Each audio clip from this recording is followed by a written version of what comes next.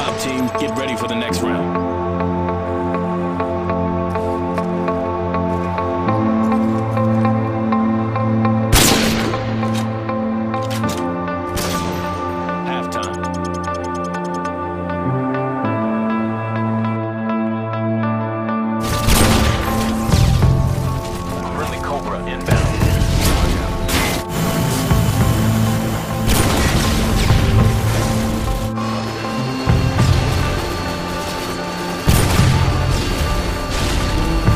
Bye.